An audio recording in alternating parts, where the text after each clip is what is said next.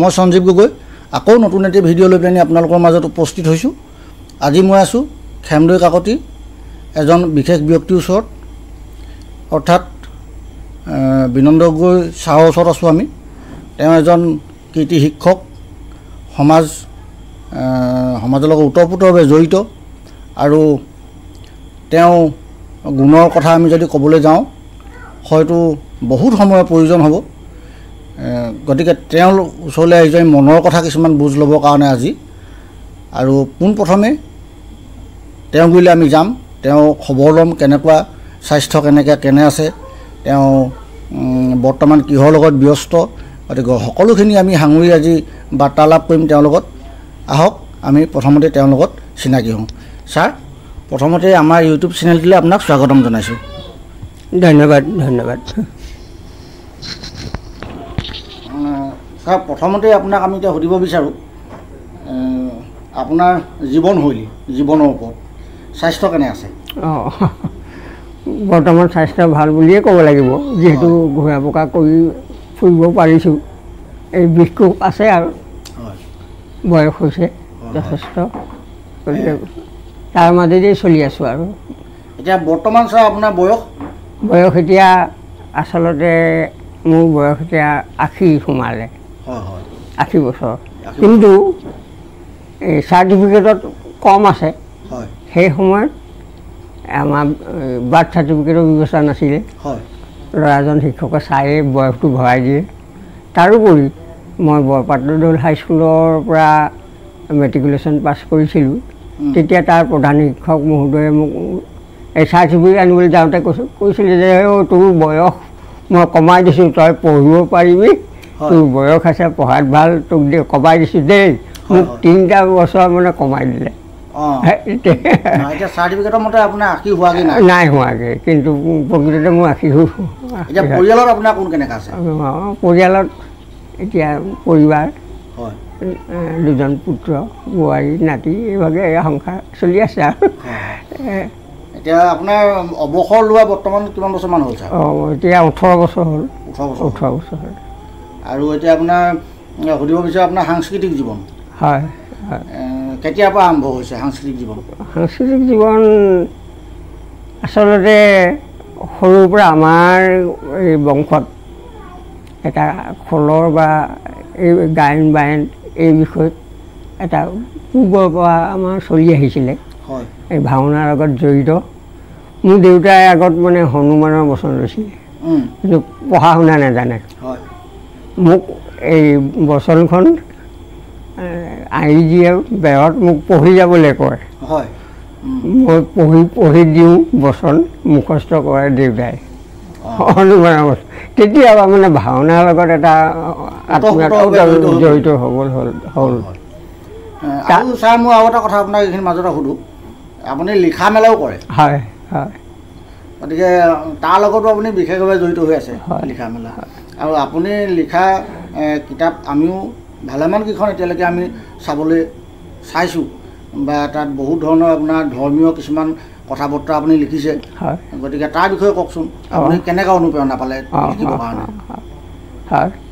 এতিয়া এই মই সৰুৰ পৰা ধৰ্মৰ বিষয়ত মানে জড়িত। এটা কেইজনমান মোৰ ব্যক্তি আমাৰ ঘৰলৈ দেউতাৰ লগত আহে ধৰ্মীয় কথা বতৰা পাতে তেতিয়াৰ পৰা মই হাইস্কুলত থাকোঁতে মই ঘোষা কীৰ্তন পঢ়িছিলোঁ। তাৰপাছত মোৰ এই ধৰ্মৰ প্ৰতি এটা আন্তৰিকতা এটা সোমাই গ'ল। তাৰপিছত শ্ৰীমন্ত শংকৰদেৱ সমাজৰ এটা এখন সমাজ শিৱসাগৰ জিলাত মই প্ৰতিষ্ঠাপক সম্পাদক আছিলোঁ। তাৰপাছত তাৰ মুখপত্ৰ বছৰেকত দুবাৰ ওলায় তেতিয়া মই দেখিলোঁ যে শিৱসাগৰ জিলাৰ পৰা ধুন এজনৰ লিখকৰো তাত লিখা প্ৰচাৰ নাই হোৱা। এই লিখিব লাগিব। মই প্ৰবন্ধ এটা লিখিবলৈ আৰম্ভ কৰিলোঁ। আৰু সেই আৰম্ভ কৰাই প্ৰথম আৰম্ভ। প্ৰথম আৰম্ভণি আৰু এতিয়ালৈকে চাৰিখন কিতাপ মোক প্ৰকাশ হৈ গৈছে। আৰু এতিয়া পঞ্চমখন অলপ দিনতে প্ৰকাশ হ'ব। আপোনাৰ মনত আছে নেকি? দুখনমান কিতাপৰ নাম এনে আমাৰ এতিয়া প্ৰথমখন প্ৰবন্ধ পদ্ম। হয়। ৰচনা কৰিছিলোঁ। তাৰপাছত এই অসমীয়া ফকৰা যোজনা।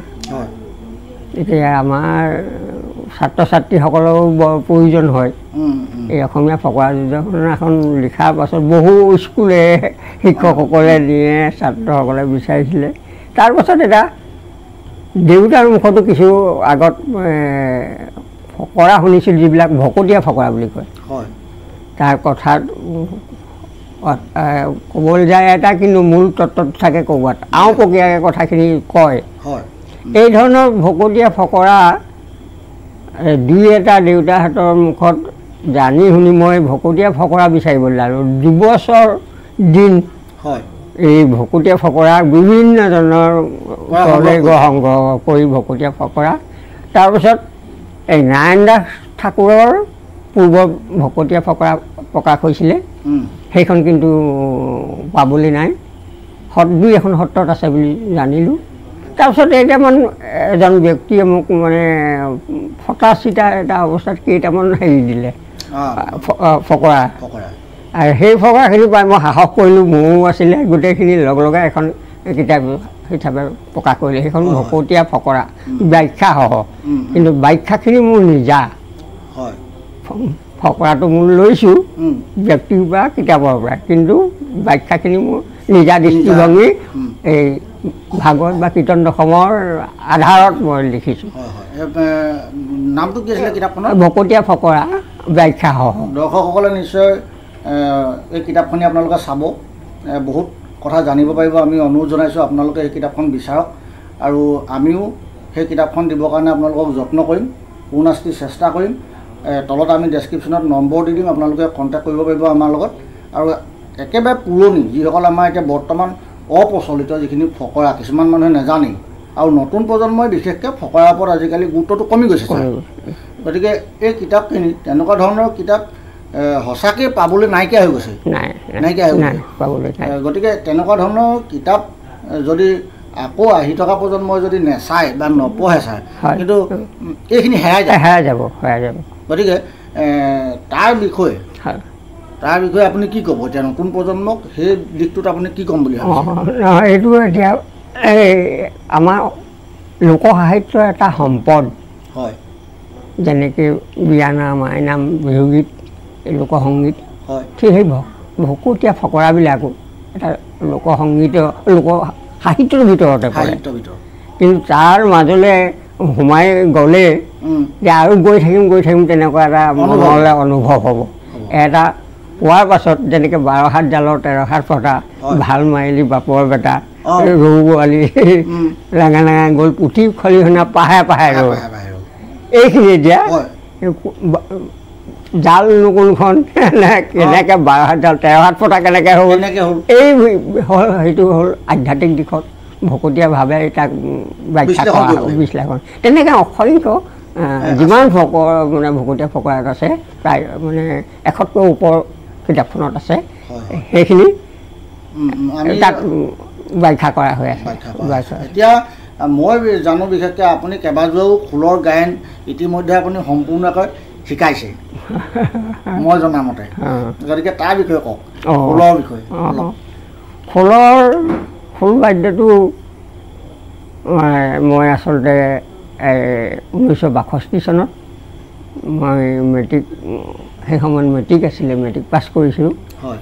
আৰু তেতিয়াও গাঁৱত দেউতাহঁতে ভাওনা উম, আৰু খোল বাদ্য এই বাষষ্ঠি চনৰ মই পাছত মেট্ৰিক পাছ কৰা দেউতাই সদায় সকীয়াই থাকে যে পঢ়ি ল পঢ়ি ল হয়। তাৰ পাছত এইবোৰ আয়ত্ব কৰিবি। মই বাষষ্ঠি চনৰ পাছত মেট্ৰিকুলেশ্যন পাছ কৰাৰ পাছত মই খোল ঘৰাই নিজে ঘৰত শিকি মেলি এই খোল বাদ্য হেৰি কৰিলোঁ। তাৰপিছত আমাৰ কিবা পুৰণা গায়ন আছিলে। এই মোৰ দদাইদেউ সম্পৰ্ক হ'ল। হয় তেওঁ বায়ন আছিলে তেওঁৰ লগত লগ লাগি এই স্বৰলিপিবোৰ মানে খোলৰ সেইবোৰ বিচাৰোঁ সুধো কৰোঁ এইটো কেলে কেনেকৈ উম। কেনেকৈ সেই তেওঁৰ পৰা মই আগৰ বৰ ধেমালি গোটেই হেৰিখিনিয়ে মই লিখি থৈছিলোঁ এনেকুৱা এটা আছে। লিপিবদ্ধ হৈ আছে। কিন্তু সেইখিনি এতিয়া প্ৰচলন মই- কম। আৰু তাৰপিছত মই এই শ্ৰীমন্ত শংকৰদেৱ সংঘৰ যিখন খোল বাদ্য আউনীতি সত্ৰৰ খোল বাদ্য এনেকৈ বিভিন্ন ধৰণৰ যেতিয়া প্ৰচাৰ হ'ল লিখিত ৰূপত আহিলে সেই এটাইখিনি কিতাপ পত্ৰ মই চাইছা? চাই এই শংকৰদেৱ সমাজত সোমোৱাৰ পাছৰ পৰা মই নিজে স্বৰলিপি। তৈয়াৰ কৰি এতিয়াও অৱশ্যে হেৰি চলি আছে। মানে খুব কম হেৰিয়াতে যাতে অনায়াসে যাতে নতুন ল'ব পাৰে। তেনেকুৱা ধৰণৰ বহা চাৰিনি মানে এই জুমুৰি হা নে? এই- এইখিনি মই হেৰি কৰি আছিলোঁ। আৰু শংকৰদেৱ সমাজে সেইখিনি গ্ৰহণ কৰি মোৰ পৰা এতিয়া বিভিন্ন জিলাত প্ৰচলিত কৰি আছে। আৰু মই তাৰ আগতে এই ৰাজৈ বুলি এখন বাগান আছে। সেই ৰাজৈ বাগানখন এটা সময়ত মই মানে বাতৰি শিৰোনাম হৈছিলে। সেইখন সেইকাৰণে ৰাজৈ বুলি ক'লে সেই বাগানৰ কথা। মনত পৰে। সেই বাগানখনলৈ মই মানে এযোৰা গায়ন শিকালোঁ। চাহ বনোৱা। কথা? সেইটো ঊনৈছশ দুহেজাৰ পাঁচ ছয়। দুহেজাৰ পাঁচ চন পাঁচ ছয়। মোক এজন ব্যক্তিয়ে যোৰহাটৰ নিলে বোলো মোক দিয়কচোন ক'ৰবাত শিকাবলৈ কিবা এটা ব্যৱস্থা। বোলে বৰ আগ্ৰহী এজ- এ- এখিনি আছে যুৱক আপোনাক লগ লগাই দিম। মোক কাকজানতে তুলি গাড়ীত লৈ গ'ল তেওঁলোকৰ লগত লগ লগাই দিলে। কিন্তু তেওঁলোক আচলতে হেৰিয়াৰ এখন গাঁও বেলেগ। চাহ মজদুৰ মানুহ হয়। বাগানৰ হেৰি মাজত কাম নকৰে তেওঁলোকৰ নিজা এখন গাঁও। কিন্তু তাতো কাম কৰে। কিন্তু নিজা মাটি বাৰী খেতি বাতি ইত্যাদি আছে এখন গাঁও।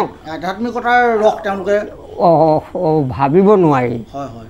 মোক যেতিয়া পালে তেতিয়া তেওঁলোকে প্ৰশ্ন কৰিছে। যে আমাৰ যোৰহাটৰ তেনে কাষৰ এজনে আমাক গাড়ী শিকাবলৈ ল'লে। দুদিন আহিলে আৰু তাৰপাছত তেওঁৰ ঘৰত গৈও মাতি। আনিব নোৱাৰিলোঁ। হয়নে। গতিকে আপুনি শিৱসাগৰ আপোনাক চিনি নাপাওঁ। আপুনি জানো আমাক শিকাব।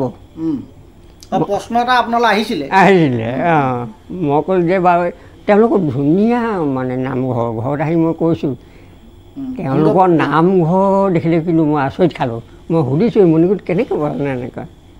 সেইখিনি সময় মেম্বৰ গগৈ তেওঁলোকৰ হেৰি বিধায়ক আছিলে।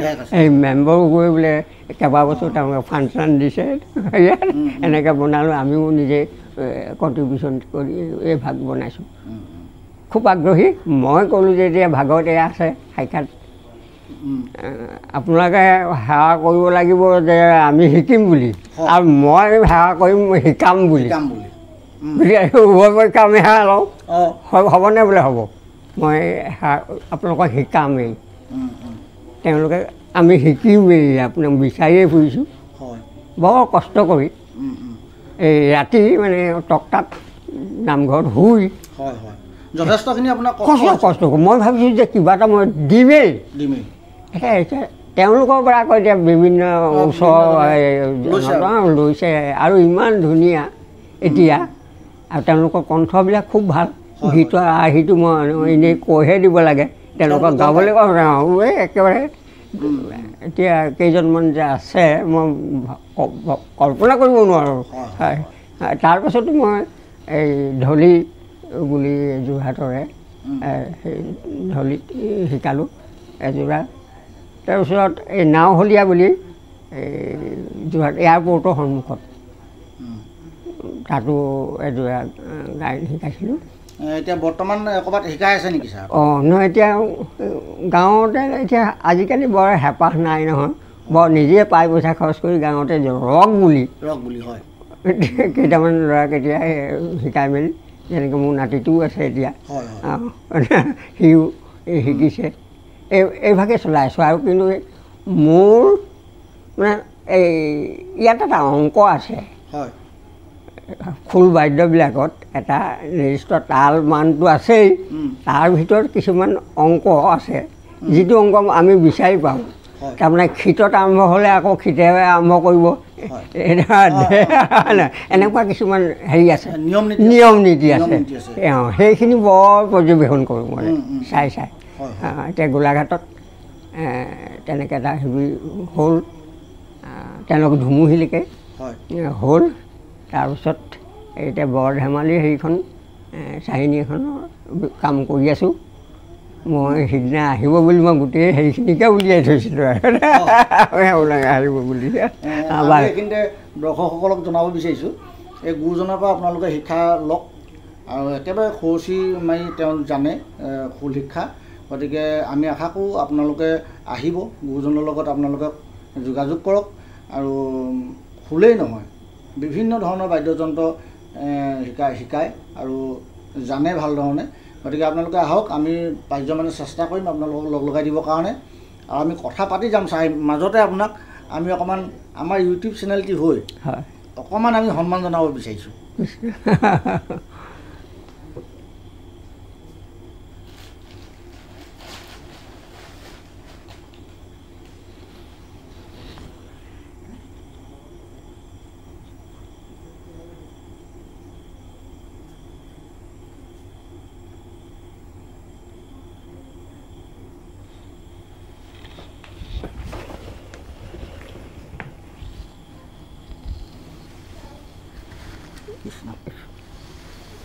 ধন্যবাদ